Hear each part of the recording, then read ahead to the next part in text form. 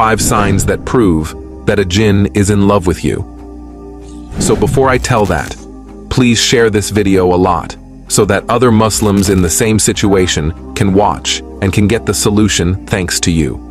So share for the sake of Allah so that it can help other people by your sharing. Sign number one, the person who has a jinn in love will love solitude a lot and has a distaste for marriage. And sometimes when a suitor presents himself, the person accepts then, without any reason, refuses. Number two, during your sleep, you feel a presence, someone who follows you, someone who touches you during your sleep. But when you open your eyes, no one is next to you. Number three, you often have erotic dreams, whether at night or during the day, and in dreams you have relationships with different peoples, some you know and others you don't, and you have a very strong sex drive and this almost all the time.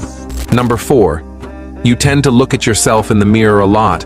You often put on makeup in the evening and especially before sleeping, you have a great preference for the color red and black. And finally, number five, when you wake up, you often have pain in your back and otherwise in your lower stomach, and also scratches. Now, here is an invocation of protection against the Djinns. Before I tell you this, please share the video so that it can help other Muslims who are in the same situation.